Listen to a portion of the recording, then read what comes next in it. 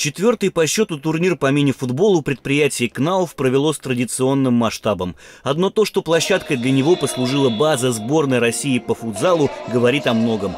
В этом году в спортивный комплекс «Аквариум», что находится на территории Крокус-Сити, за заветным трофеем приехали 10 команд. Спортсмены – представители производственных предприятий и сбытовых дирекций группы КНАУФ СНГ из России, Казахстана, Узбекистана и Украины.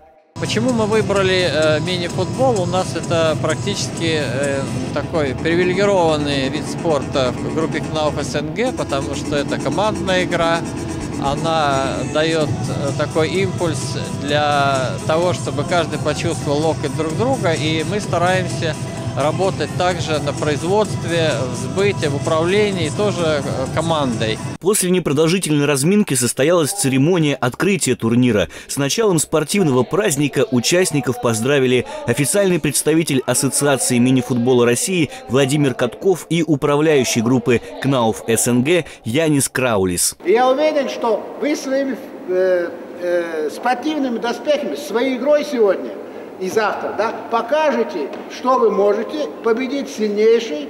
И я еще раз желаю вам хороших, хороших, э, хороших игр, хорошей, э, удачной, э, а, удачного общения после игры, потому что после общения игры тоже будет. И сыграйте в команду, и пусть победит сильнейший. Спасибо. Футбол – это контактная игра, хорошая, зрелищная. Поэтому хорошего сегодня футбола, хороших голов, хорошего настроения. И чтобы день сегодня получился замечательный. Да здравствует футбол! Согласно регламенту соревнований, в начале был проведен групповой турнир. Две группы по пять команд боролись за выход в финальную часть турнира. Среди них были и два коллектива из Красногорска, которые, к слову, пока еще уступают в классе своим коллегам из других регионов. Ну, у нас уже сложились здесь э, такие крупнейшие, э, сильнейшие команды.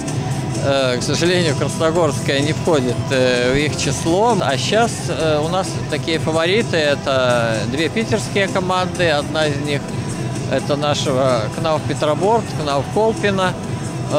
Далее у нас Донбасс, победитель прошлого чемпионата КНАУ Гипс Донбасс.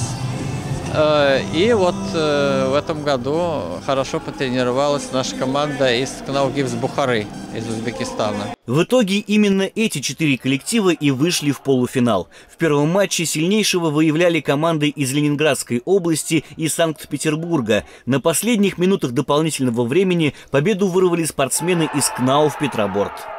Вели практически все время, за минуту 40 э, пропустили Точнее, они сравняли, да, мы пропустили, получается, ничья, и в дополнительное время пропустили тоже гол. Сил уже не хватило, потому что достаточно э, выдали, выложились, очень много сил отдали, поэтому вот, наверное, он самый главный был этот матч.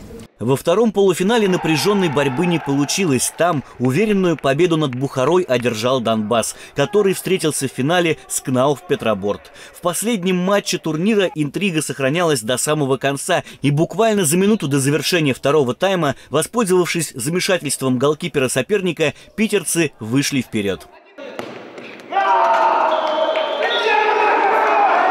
Чтобы отыграться представителям Донбасса уже не хватило ни сил, ни времени, и в итоге обладателем заветного трофея впервые за все время участия в турнире стали игроки КНАУФ Петроборд. Эмоции, конечно, заклескивают всю команду. Э, ребята были настроены только на победу. Э, турнир проходит в один день, достаточно тяжело, но мы экономили силы именно для финала. Э, в полуфинале нам достался серьезный соперник, наши коллеги, наши соседи.